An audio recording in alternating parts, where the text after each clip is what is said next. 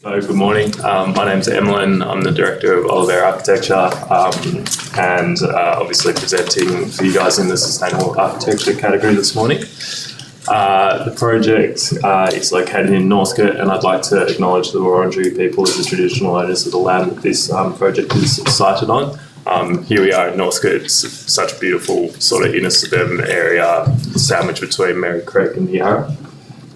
Uh, our site is the one in the middle there, essentially. That's Californian Bungalow. It's running east west, um, and that's the site now occupied by the building we designed. And you can see the courtyard that's cut into it quite neatly facing north there. Um, when the client came to us back in late 2020, um, I just highlighted this particular aspect of their brief, which was that they had a preference for simple quality finishes over size or elaborate designs, and they were interested in incorporating sustainable design principles wherever possible.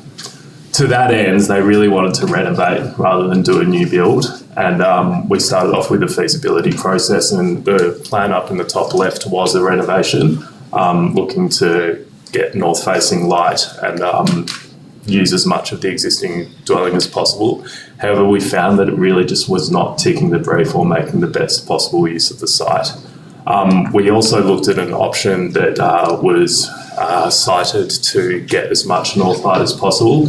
But again, um, in reviewing that, we found that it wasn't really meeting the brief. Um, it wasn't connecting the family like they wanted to. So we pursued the third option that we presented in a feasibility was a courtyard house option. In the very first sketch I did up in the top left, um, I was really influenced by Roy Grounds' courtyard house. Um, but then soon shifted over to a courtyard that was sort of set off to the northern boundary, well, not boundary, but to the northern edge of the building, and um, that was bringing in north light to the site.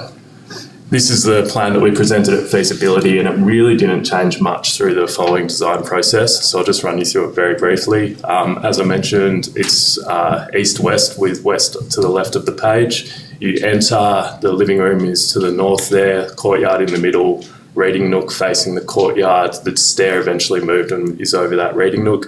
Kitchen, dining, and study, and then down on the south side we have services, kitchen, um, butler's pantry, laundry, and mudroom small studio to the rear. Upstairs, a landing slash rumpus room, couple of kids' bedrooms, bathroom, and um, parents' quarters to the west there. Um, we're on an insulated concrete slab um, with a heat pump hydronic.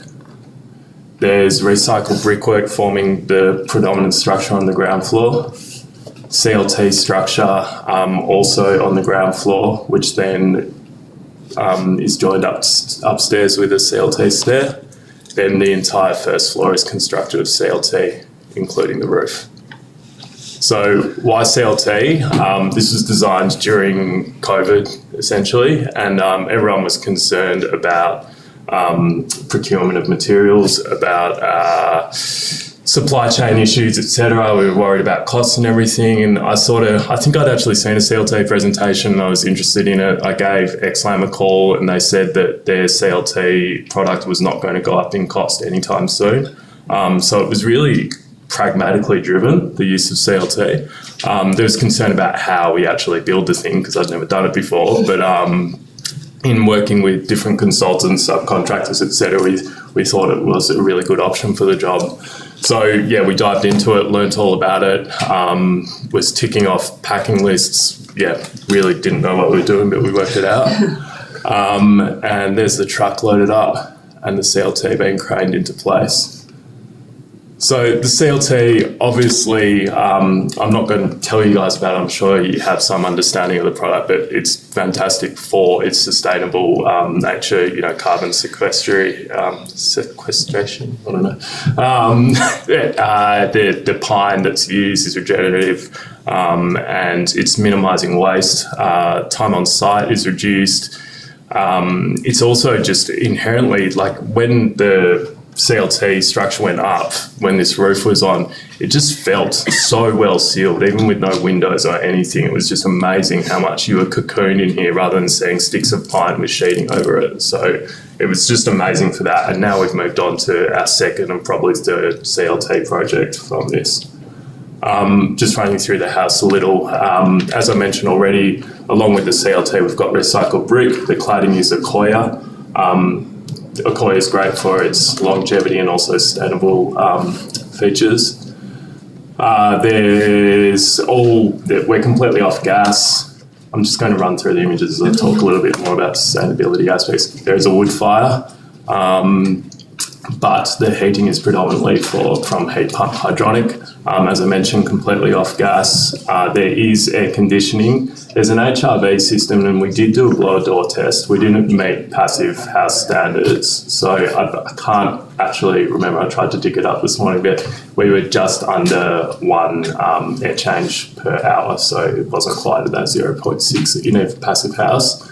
But it performs incredibly well. Um, I would say, particularly during winter, I'm not going to lie, there, there's probably a little bit too much sun on the um, windows up the top of the courtyard, but we're really hoping that this tree grows up and really shades that area. So for the moment, um, it's something that the clients are working with. Um, that's Tom Ross's kid, Lenny there. Um, yeah, the CLT, so all materials are champ, like all the structures champion. I think that's a really sustainable aspect of the project. We're not um, there's nothing thrown on for the sake of fancy or decoration or anything. The structure is structure and everything else. There's no added. We've minimised plaster, we've minimised tiles. There's carpet on the floor, but you know, there's no, there's minimal waste here. Um, that's within the courtyard. So this north, this north-facing screen was both for privacy and to help protect those windows um, within the courtyard. Um, that's upstairs in the master bedroom facing west. So the west facing windows both have operable blinds over them. On the outside? On the outside, yeah. Um, and yeah, they're really happy there. They are such lovely clients. They're, you know, going on this sort of sustainable journey with them has been fantastic. It was also cost effective. So I'd just say, as a sustainable project, you know, I work a lot in residential. Um, we're not all going to get to passive house tomorrow. We're not all going to be able to do absolutely every measure that would be advocated for a perfectly sustainable house. But I think this is a good step in the right direction. And it's a model that I'm now pursuing on multiple projects. Yeah, awesome. Yeah.